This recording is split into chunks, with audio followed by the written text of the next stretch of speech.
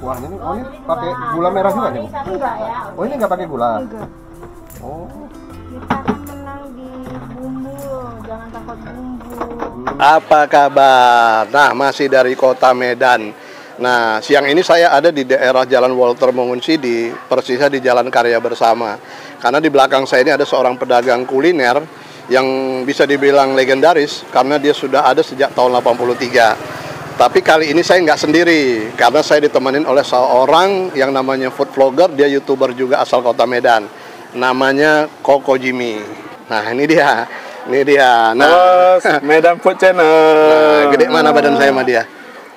Gedean imbang ya. Imbang lah ya. Iya kan? Nah, kok hari ini saya dapat rekomendasi nge-review mie sop nih. Ah. Nah, gimana kira-kira menurut tanggapan Koko Jimmy tempatnya? Kalau dilihat dari tempatnya kita gak tahu ya. Yang penting kita langsung sikat-sikat-sikat makanannya aja Langsung ya kan. makan makanannya. Dengan cocok gak? Nah, Hmm, nanti iya kan? nan- nanti tapinya. Kalau sekarang kita jangan sikat-sikat Iya, dulu iya. kan. Nanti kita tanya-tanya dulu Nah. sama pedagangnya, baru nanti kita hajar semua makanannya ya. Hmm. Oke deh, kalau gitu kita nggak usah lama-lama lagi ya. Boleh cuaca pun sedikit gak sedikit mendukung ya kan. mendukung tapi buat kalian yang ini yang mau tahu siapa Koko Jimmy kalian Hmm. boleh kepoin uh, YouTube-nya apa namanya bang Medan Food Channel. Medan Food Channel jadi buat subscriber saya di mana saja berada Hmm. khususnya kota Medan jangan lupa untuk kepoin channelnya Hmm. apa Medan Medan Food Channel. Medan Food Ah, Channel. semua makanan enak, makanan murah dari kaki lima menengah ke bawah. Yang enak-enak ada di Medan Food Channel. oke kalau gitu langsung aja bang ya Iyalah, ini cuacanya udah paten ini, cocok untuk makan mie sup nih. oke lah Ya kan? Oke.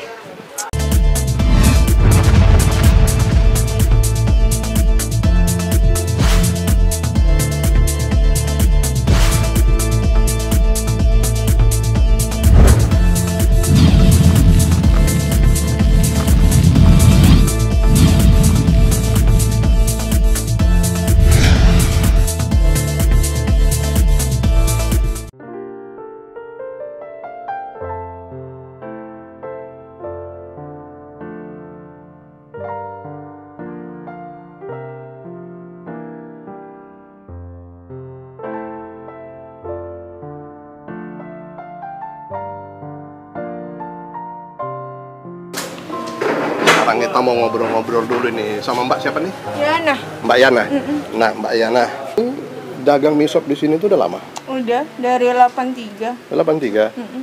Nah, dari 83 dulu Mbak Yana udah Mbak Yana yang dagang. Enggak lah, masih mama. Oh, ini Mbak Yana generasi kedua ini. Heeh. Nah, terus yang didagang di sini apa apa aja sih? Mbak? Misok aja kami hanya misok cuma Nah. ada ceker, ada rempelong, Hah? ada telur muda, Mm-mm. eh, ada sate-satean, ada kue-kuean. Oh, ada ada cemilan-cemilannya Ada. juga. Nah, ini tiap hari buka. Tiap hari. Terkecuali hari besar lah. Hari besar kayak lebaran kemarin, Iya. Idul Adha kemarin ya. Nah, Iya. buka tiap hari jam berapa, Mbak? Dari jam 10 Jam 10 siang sampai sampai malam lah jam 8. habis gak habis bubar. Iya, Nah, ini bisa juga dipesan secara online? bisa. Cuma kami gosok. Gosok doang. Iya. Oh, maksudnya datang beli bayar gitu. Iya, oh, iya. nggak pakai aplikasi. Enggak.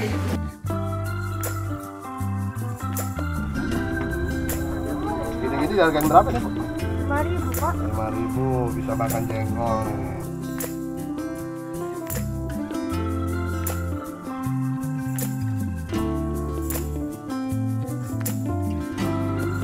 Nah, terus kalau kita bicara mulai dari cemilan, mulai sampai bakso aja tuh Mbak, itu di range harga berapa Mbak? Kalau mie sopnya 17-an, kalau Eh? gorengannya 1.500, sate-sateannya 5.000. Oh, selain mie sop, ada minuman juga ya? Ada jus. Ada jus-jusan. nah, ada minuman botol, Mm-mm. ada aqua, ada goreng apa nih, kerupuk-kerupuk. Oh. Nah, ini lokasinya di mana Mbak? Jalan karya bersama, Jalan Karya Bersama, uh, Mongon Sidi. Bangun Sidi ya. Oke deh Mbak, saya mau nyobain aja lah. Nah, nah, saya pesan dua sama teman saya. ya. Oke, mie-nya Oke. mie apa? Nah. Ada mie hun, mie putih, mie, ti- eh, mie putih, mie tiaw, mie Nah, kalau kuning. mau apa? Hmm, mie kuning campur kue tiaw. Nah, Kuning campur kue tiaw. Putih, putih, Putih. bihun campur kue tiaw. campur. Ya. Putih tiaw. Nah, saya mie yang yang recommended apa, Mbak? Yang paling best seller apa? Orang sih mie hun. Mihun ya. Oke deh, saya pesan mihunnya. Oke. Nah. Pakai rempelo? Pokoknya kasih yang paling Oke, spesial oke, aja mbak. oke. Nah ya, kalau Jimmy mau yang jumbo apa yang biasa? Biasa aja. Yang biasa aja ya. Oke deh. Mudah-mudahan sukses mbak ya. Amin, amin.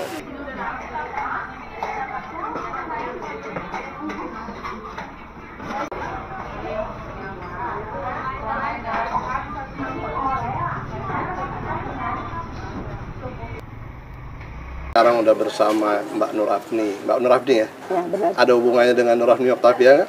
Ada. Nggak ada ya? Gak ada. Ya. Saudara ini aja, saudara apa namanya? Saudara Coba. senama. Senama. Nah, Mbak mau tanya, ini sebelumnya sudah pernah makan mie sop di sini? Udah sering. Sering ya? Nah, udah sering. Nah kalau ke sini apa sih yang spesialis ya? Eh, ya mie sopnya, mie sop kampungnya sama itulah jengkol. Jengkol. Lah. Jadi kalau ke sini pasti makan jengkol ya? Ya tergantung juga kalau ada. Kalau nggak ada ya.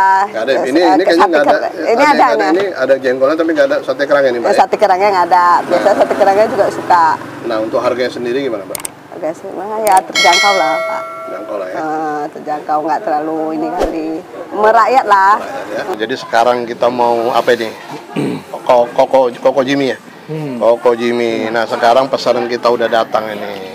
Nah terus Kita cobain lah semuanya yang ada di Hah? sini nih. yang Ya ada kan? di mana? Mie sop tuti ini ya. mie sop Bu Tuti. Ah. Ah. Ini ada laler di gara-gara kira-kira ada apa ini pak? Jangan-jangan gara-gara nyium bau jengkol nih ya. Hah? Jadi di sini tuh coba kok apa ini? Eh, kita pesan beberapa menu ya. Ini menu Hah? komplit ini. Nah ini minuman kita datang dulu nih. Ah, Minumannya udah datang. Oke. Ini minuman kita udah datang nih. Wih, buka di tempat Eh, aja. buka di tempat tuh jadi Spesial. masih betul-betul masih fresh ya Hmm. nah ini badak ini nggak endorse ya Hah? Nah, ini yang saya pesan Hmm? bihun campur kue tiaw. bihun campur Nah, kue Kalau tiaw punya Bang Ucok apa? bihun campur mie kuning Iya.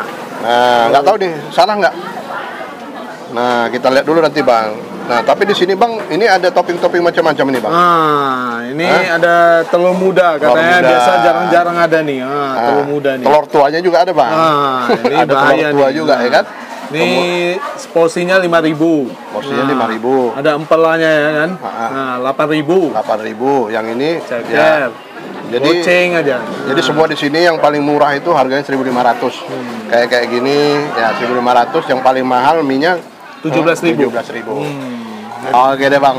Daripada kita ngoceh-ngoceh terus, Ah. sekarang kita cobain dulu Bang. Iya, Tapi kita pastiin dulu Bang pesanan kita tadi Bang. Hmm. Nih, ya kan? Intip dulu, intip, intip. Intip dulu. Wah, jadi dia ini Nah, ini Abang punya Bang. Hmm. Nah, jadi salah nih. Ini Abang punya nih, dia pakai kue tiaw dia. Jadi kalau kue tiaw itu di sini istilahnya mie besar. Kalau mihun mie kecil ya. Yuk. Nah, jadi ini ukurannya size ini juga bang. Waduh. Ngeri ya. Nah, jadi ini ada juga tulang-tulang ayamnya. Jadi katanya sehari mereka bisa ngabisin sekitar 35 kilo ayam. Waduh. Nah, karena mereka buka ini dari jam 10 sampai jam 10 juga gitu. Nah, ngasihnya sama tulang-tulangnya sekalian ini. Iya. Hmm. Nah, Ini biasa kan kita tahu kalau makan mie sop itu kan biasa suiran ayamnya halus-halus ya kan. halus-halus. Kalau ini gede-gede nih. Ini suiran ayamnya jumbo-jumbo nih. Jadi sekarang kita icip dulu. Saya mau icip kuahnya dulu, Bang. Hmm. Kuahnya itu gurih, manis. Tapi tadi saya tanya, ini pakai gula merah nggak? Dia bilang nggak. Mereka itu cuma berani bumbu aja katanya. Hmm. Nah, jadi pas ini kita makan siang nih, Bang ya. Hmm, Terus ini memang asli kaldu ayam ya. Hmm? Nah, nanti kan ada kan yang berprasangka ada kaldu Hmm? sapi ya kan atau atau tulang-tulang sapi ya kan. Ah, Tapi ini enggak. enggak, ini Bang. ayam, pure Nah. ayam. Saya tanya, kenapa kok ayam? Karena kan di sini tuh di Medan itu ada turunan India. Nah, kalau ini pakai kaldu sapi mereka nggak bisa makan, Bang. Betul betul. Nah, Oke. ternyata saya dikasih bihun nih, bihun rupanya. Kita jajal dulu nih. Hmm.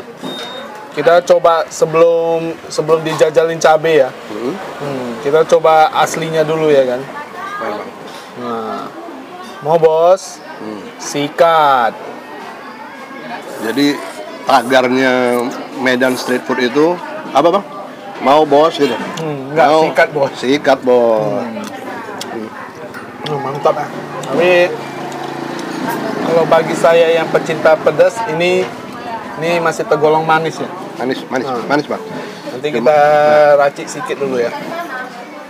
Hmm, pakai saus sambal ya kan. Yang doyan kecap ada ya kecap. Hmm, cabenya cabenya. Oh, kayaknya mantap nih cabenya. Jadi ini suatu kebanggaan buat saya karena hari ini saya bisa berkolaborasi dengan uh, Oko Jim ini, Medan Street Food ini. Nah, Medan dia Food Channel. Food, eh Medan Food Medan Food. Saya bilang tadi apa? Medan Street Food. Medan Street Food, Medan Food Channel gitu loh. Dia vlog- food vlogger, dia ngangkat makanan-makanan betul-betul the real food street ya. Nah, Nah, yang penting kalau mau nyari yang enak, murah, cocok di kantong, nggak bikin bolong, ah, wajib ke Medan Food Channel. Mantap ini. Ini cabenya golongan enak nih cabenya. Hmm. Sekarang kita mau jajak. Oh ini bang, ini paling favorit nih bang. Ini jengki. ini tadi menurut testimoni dari ini Pelanggan. paling mantap katanya bang. Coba coba. Ternyata kurang pedas juga ya. Hmm? Ini ini udah sendok ketujuh. nih. Jengkolnya itu lembut, agak pedas, tidak rekomendasi buat anak-anak. Bumbu rendangnya juga berasa banget. Jadi selalu saya bilang kalau ini kayak kita makan hati sapi bang. Hmm. Nah, jadi tidak tidak berasa bau gitu loh. Hmm. Nah mungkin nanti di rumahnya baru kerasa baunya ya. Nah, jarang-jarang saya lihat orang turunan China itu senang makan jengkol nih. Ini Kojimi, ya kan? Badannya juga dia makmur terus nih. Jadi kalau bicara food vlogger, youtuber, kuliner, kalau nggak gemuk berarti belum sukses bang ya. Belum sukses ya. Ampun.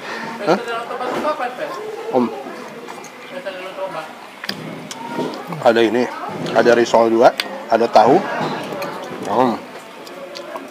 Ada ini, ceker. Hmm. Ada ini, hati ampela. Kalau di sini bilang rempelo bang ya. Hmm. Makan mie top ini harus ada pendampingnya lah. Hmm. Jadi kalau orang bilang palu gada bang ya. Apa lu mau, gua ada. Nah. Kalau saya pakai sambal yang dari jengkol ini aja udah mantap nih bang. Ternyata jengkolnya juga agak pedas ya. Tiap-tiap orang ada seleranya masing-masing ya. Hmm. Kita coba tahunya lah tahunya. Jadi intinya ini suatu kebanggaan buat saya. ehm, Medan Food Channel ini mau berkolaborasi dengan channelnya Bang Ucok Ganteng ya kan. Emang sesama vlogger sama youtuber itu emang harus saling support bang ya. Pastinya. Toh nggak ada ruginya juga bang ya. Oke. Hmm. Hmm, tahunya banyak ah. isinya agak pelit.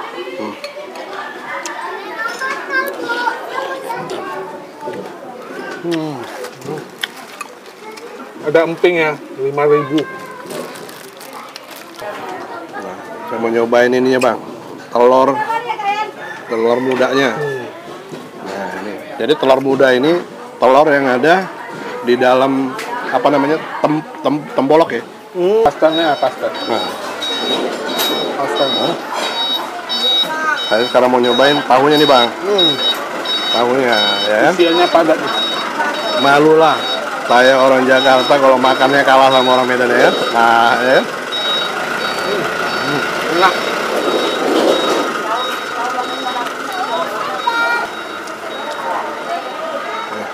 Jadi bukan cuma nikmati mie sop aja ya.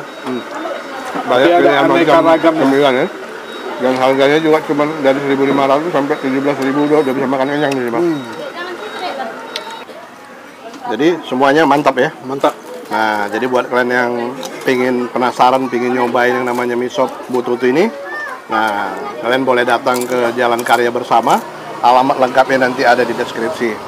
Nah, mudah-mudahan informasi ini bisa berguna dan bermanfaat, sekaligus bisa menjadi rekomendasi buat kalian dalam berburu kuliner di Kota Medan, Bang ya. Ya betul. Nah, dan jangan lupa juga buat subscriber saya. Nah, jangan lupa juga subscribe juga, kunjungin juga channelnya Medan Medan Food Channel. Medan Food Channel karena dia memberikan informasi-informasi semua kuliner mulai dari kaki lima sampai menengah Menengah ke bawah sampai UMKM. UMKM lah bang ya. Iya. Nah dan follow follow Instagramnya juga sama bang ya. Nah, Instagramnya Medan underscore street underscore food. Nah, Nah, jadi buat kalian juga sekedar informasi apabila kalian punya yang namanya rekomendasi kuliner yang legend, yang viral, unik, enak. Nah, kalian boleh DM langsung ke channel Bang Ucok Ganteng ke IG-nya. DM langsung nanti kita review bareng-bareng. Atau ke kolom deskripsinya pun boleh ya. Ah, ah. Nah, ya kan? Nah, Sampai jumpa di liputan kuliner berikutnya. Wassalamualaikum warahmatullahi wabarakatuh. Mari kita makan lagi nih. Oke.